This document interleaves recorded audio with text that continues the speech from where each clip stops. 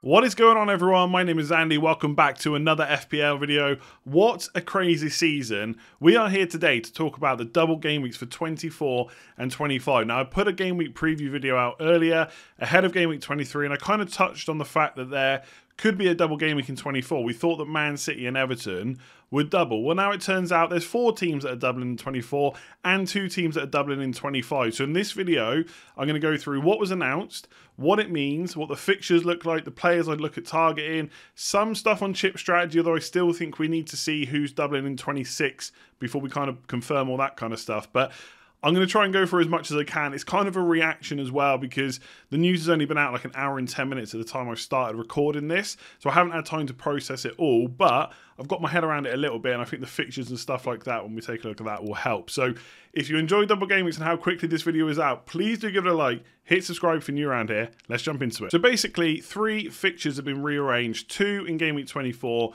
one in Game Week 25.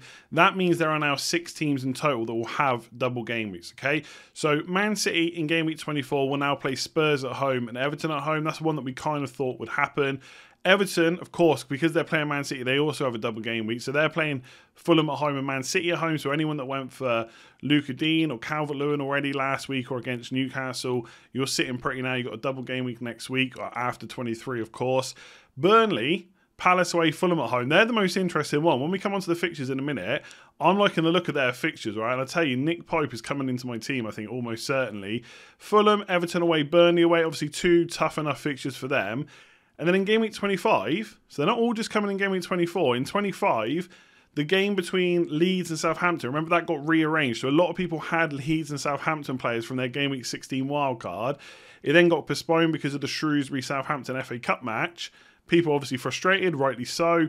Now the game is back, so if you kept those players, happy days. If you've still got Raphinha, if you didn't sell Bamford, you've got Dallas, Ings, whoever it might be, they now look like good options. So Leeds are playing Wolves away and Southampton at home, uh, and Southampton are playing Chelsea at home and Leeds away. So I think initial instinct for those doubles, the Southampton one doesn't look great. The Leeds away fixture is nice, but the Chelsea at home fixture isn't so much. Fulham, I just think because of who they are and how they've been performing so far this year, their double doesn't look that great. Man City, obviously, Burnley good, Everton not bad, uh, and Leeds I'm definitely interested in. So I'm going to go through kind of the short list of players, but also look at the fixtures as well uh, to try and get our head around who we might be looking to kind of target and who we might want to target early um, and who might have good fixtures afterwards as well. Okay, so these are the fixtures from game week 23 to 27. Now, the reason I picked that game week is obviously one, we're about to go into 23, and perhaps now you want to make a transfer based on the double game weeks. Obviously, game week 26, which is the fourth column along from the left, we think there's going to be more double game weeks based on the FA Cup. Now, they won't get announced or we won't find out who they are until before game week 24. So most of them are just kind of a question mark, really, um, about whether it will happen. All the fixtures are green if it's an easy fixture or if you've got a double game week, because I just think double game weeks are great, so they should always be green. Uh, and then obviously game week 27 on the end. So apart from the double game weeks in 24 and 25 for the teams I've just mentioned, none of the doubles in 26 are announced. But what I've done is, if you watched the preview video earlier, um, I showed you Ben Crellin's spreadsheet picture or image um, that had teams that were likely to double based on FA Cup matchups, essentially. That doesn't mean it's definitely going to happen. There could be cup upsets, right? So Everton, for example, are not down for a double, but if they were to beat Spurs in the FA Cup, and remember, Spurs might not have Kane, um, then all of a sudden they could double as well. So what we'll do is once the game week 24 fixtures, or, or once the game week 26 fixtures are known, because of the FA Cup, I'll do another video around it. But for now, this is what we're looking at. So Man City potentially have got doubles in 24, 26, and 27. So it's just no, it's non-negotiable for me. They have to be in our team. Triple up just looks essential, right? I hate using the E word, but it pretty much does. Outside of that, they've got Liverpool away. I've already talked about on the preview video about whether you should bench players this week. And Arsenal away, okay, it's not as easy as it was, but it's still a pretty good fixture for Man City. So that's an easy one, right? We've all got three Man City. Most people are building towards three Man City. Nothing else to talk about. Everton are a little bit trickier for me because if they don't double, in 26, I'm going to find it hard to load up on them. Now, obviously, if you've got a wild card, it's a little bit different. I will touch on that at the end, um, although until we see the fixtures of 26, it's hard to talk about. But but basically, I'm I'm coming from this to the point of view that you don't want to use your wild card or you don't have it. So Everton, an okay double in 24, but one of the matches is City, which is going to be tough. They're going to find it hard to break down a score against Man City. Outside that, it's Man United away and Liverpool away. Very tough fixtures. In 26, they may or may not have a uh, double. If they don't, it's only Southampton away, and then it's Chelsea away. So three of the next five fixtures are pretty difficult. So one, I wouldn't want to bring in Everton players this week. I'd want to wait till 24 at the earliest. And two, I probably wouldn't want to hold them long term. So getting loads of players in is all well and good, but it's how long you can carry them for, right? And right now, we haven't got the likes of Kane and De Bruyne to worry about. Once they come back, if you want to get them in, money becomes a lot tighter. So how much you want to spread the money around your squad is still up for debate. So that's something to think about. I think Burnley's fixtures now look really good for the next five. So, for example, if you wanted to bring Nick Pope in this week, he plays Brighton at home. Pretty good fixture given how defensively sound Burnley can be. Palace away and Fulham at home looks ideal for clean sheets, right? So, Nick Pope looks like a genuine. Um, I've seen people already talk about captain in Nick Pope. Let's just say that. I don't know if I would go that far, but you never know. Uh, West Brom at home um, in 25, which is a good single game week fixture.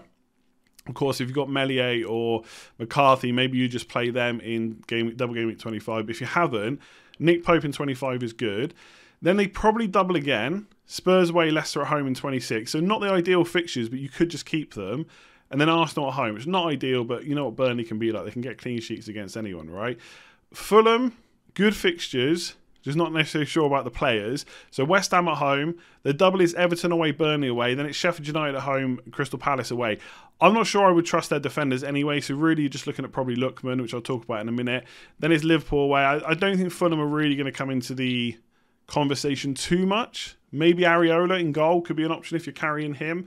Um, but ultimately, yeah, the fixtures look good. Just don't think Fulham necessarily do. Uh, and then Leeds again. Palace at home is a good fixture this week. Arsenal away, tricky enough, but um, the reverse fixture, they could have had more goals. So could Arsenal, but well, Arsenal weren't actually that good, I don't think, in that game. But Arsenal are better now, so I think it'd be a more open game. Wolves away, Southampton at home. Not a bad double given how Wolves are playing right now. And even Southampton haven't been that great. Even forgetting about the 9 0, they haven't been that great recently. Villa at home, no double now probably for Leeds in 26, so worth thinking about that. And then West Ham away, but obviously their players are cheap, so holding on to them is not that difficult.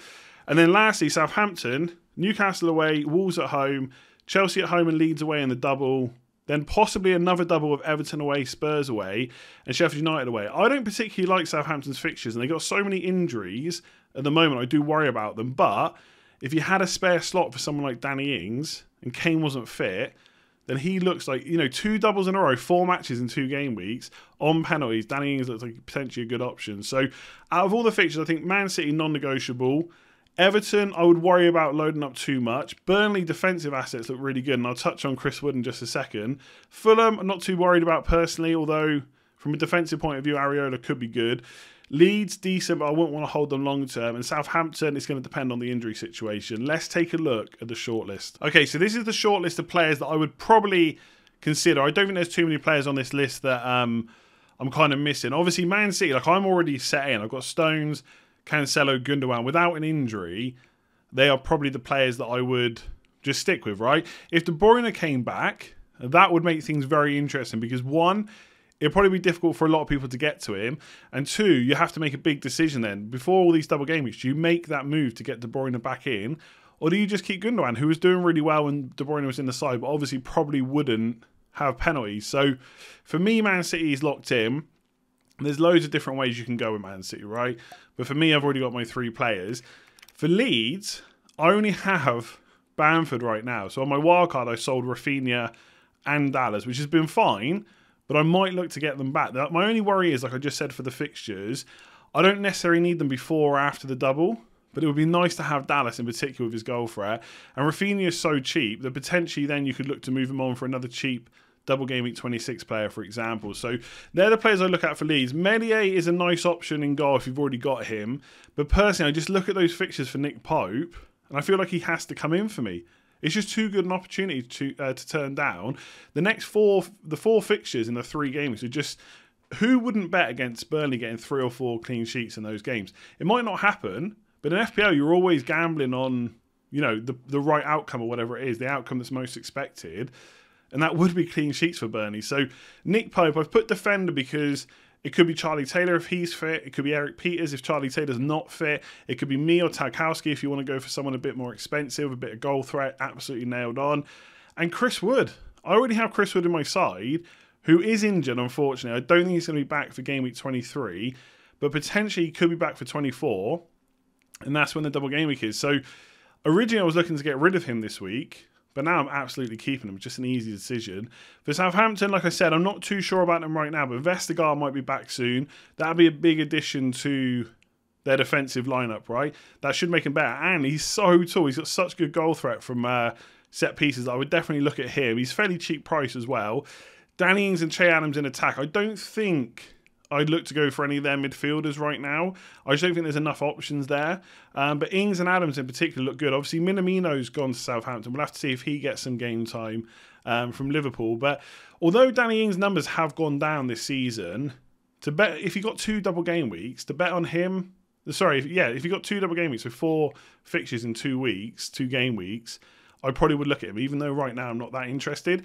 And also, if Everton don't double, and this is where it gets complicated, they don't double in 26, then you can have Calvert Lewin in 24 and then just switch to Danny Ings in 25.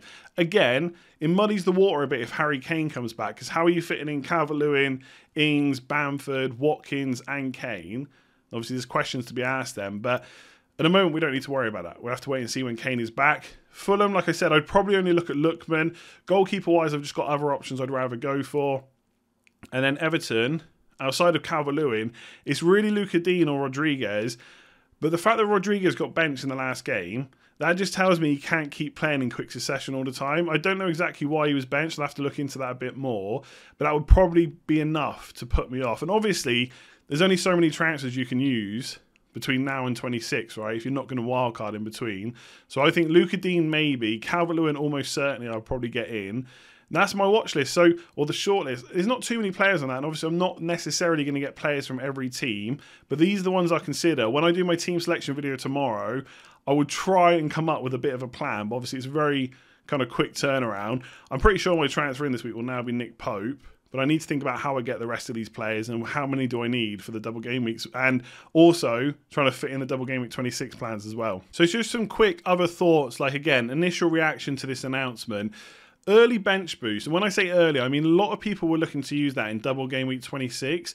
There is probably now an opportunity if you look at your own team and use something like the transfer planner in livefpl.net to use your bench boost early. Now, obviously, if you're loaded with Leeds players, for example, you can't just say, well, I'll bench boost because they would have been on my bench. Because obviously, if they got a double game week, you're going to play them.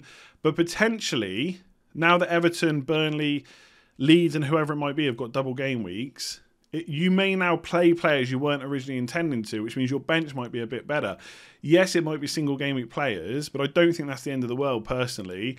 And so I would look and plan for your own teams when might be a good uh, bench boost. If you're looking to wildcard before 26 and then bench boost in 26, that's fine. You just stick to that plan. But for a lot of you, especially if you haven't got wildcard and somehow you've got your bench boost left, it's worth looking at that. I can't sit here and say what is the best week because it's going to depend on your team, but it is definitely an option rolling a transfer this week is huge for me. Like the, the, the main problem is people haven't got Son.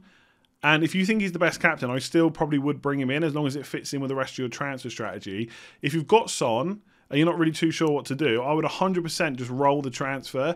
Like I've said a million times now, we will get more info ahead of game week 24 about who's going to double in 26, and that will make our planning easier, although no less chaotic, but at least a little bit easier because we should know who's going to play in 26. So if you can roll a transfer this week, I definitely would. Um, early wildcard comes into play. Now, again, I haven't really had enough time to completely think about this, but depending on your team setup, you could wildcard a little bit earlier. If you were thinking about doing it in game week 30, right? If you can bench boost before 26, perhaps you dead end your team, i.e., you just build transfer after transfer, building for 24 and then 25. And if you're stuck with players you don't want long term, you could just wildcard in game week 26. But obviously, you can't wildcard and bench boost in the same week. So then you'd have to see if there's a way to bench boost later on or before. Now, there will be more double game weeks down the line, but the further they are away from your wildcard, the harder they are to kind of plan for. But have a look at the fixtures when when we know them all it may be a different time to wildcard, depending on what you were thinking. Again, there is no blanket answer about when is best to wildcard. Some people are thinking about doing it in 24, 25. Some were thinking about doing it in game week 30. There's different ways to do it depending on your team. And then lastly, just happy days. Love a double game week, right? It's good times. It's very chaotic. I had my plans done for like 23, 24, 25. I was looking pretty comfortable. Now it gets a bit trickier, especially without wildcards. So there's lots of planning to be done. But double game weeks, right? Having this info, planning, this is where you make your gains against people that aren't as engaged, right? So this is a good time. It's a chaotic time, it's stressful, but it's good. So enjoy it. I hope this video has helped. I'll have more obviously tomorrow hopefully and then definitely next week when we start planning towards week 24 uh, but yeah lots of info in this one hopefully it was a help uh, let me know if you've got any other questions below. So there we go. That is it for this one. Hopefully it was helpful. Obviously, very quick announcement. It's only been like an hour and a half or so um, since the announcement was released. This is going to go out during the Spurs versus Chelsea game. Got no idea what's happening because it hasn't even kicked off yet. I don't think I missed anything, but obviously I have put this out quite quick. So anything I have missed or anything to do with my team, I'll talk about tomorrow. Uh, please do give it a like if you've enjoyed it and hit that subscribe button if you're new around here. Like I said, I'll be back tomorrow with more videos. I probably am still going to stream tonight at 10 o'clock, but I'll, I'll see about that. If I don't, I'll, I'll let you know on Twitter and stuff. Um, it will depend how early I can get this video out. But thanks for watching. Hit like, hit subscribe. Plenty more content to come. I'll see you soon.